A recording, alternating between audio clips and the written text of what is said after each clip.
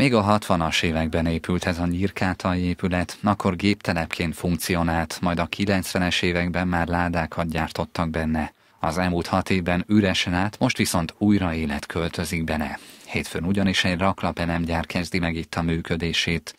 A pénteken átadott üzem társadalmi vállalkozásként való beindítására a Roma Fiatal Demokraták Országos Egyesülete pályázott, és nyert el először mintegy 15, majd később 38 millió forintot.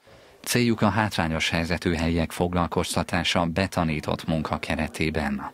A roma ember egész életében fizikai munkát végzett, ezért gondoltunk abba, hogy újból egy ilyen fizikai munkahelyet, ahol tényleg az erőlét a lényeg, megtanulható, nem muszáj a szakképesítés, mert a mostani mai gépekkel már gyakorlatilag csak két gombot nyomogat és működik. Ezért gondoltuk azt, hogy egy ilyen üzemet hozunk létre.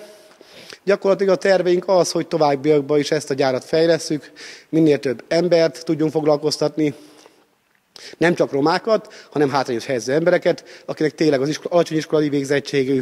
24 emberrel indul be a munka, őket egy 8 plusz 4 hónapos foglalkoztatásra biztosított támogatás segítségével veszik fel. A nyár folyamán ezt a létszámot megdupláznák, évvégére pedig már a 100 főt szeretnék megközelíteni. A térség országgyűlési képviselője szerint ez a beruházás is fontos a munkahelyteremtés szempontjából.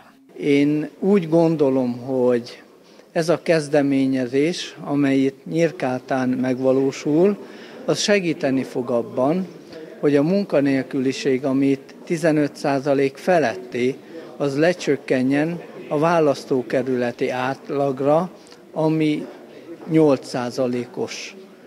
Tehát Nyírkátán dupla a munkanélküliség, mint a választókerület többi részén, és ez az egyesület a Roma Fiatal Demokraták Országos Egyesülete, mint társadalmi szerv megpróbál ezen helyzeten változtatni.